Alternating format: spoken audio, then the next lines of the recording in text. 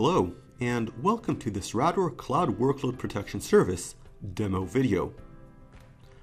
In this video, we will demonstrate how Radware detects malicious behavior in your cloud environment and creates unified attack storylines which show the step-by-step -step progression of attacks in order to help you mitigate them. Radware's Cloud Workload Protection Service monitors cloud account activity and detects potentially malicious behavior. When such behavior is detected, the service shows it through the threat radar. Clicking on the alert visualization will allow you to see drill down details about this alert.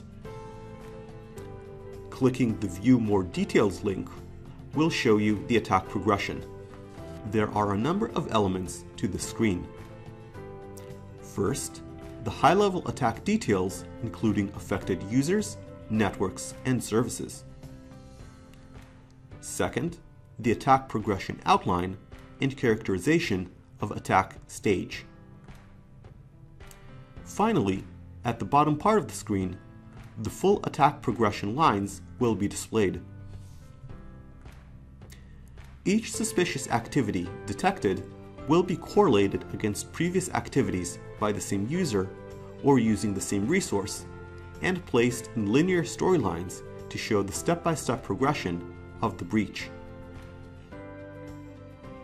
As additional alerts come in, administrators will be able to see them through this screen. Moreover, for alerts which cross a high enough risk threshold, automated response mechanisms will be triggered to curtail the potential breach. The attack storylines help security administrators get a fast visual understanding of attacks and places individual security events within easy to understand context.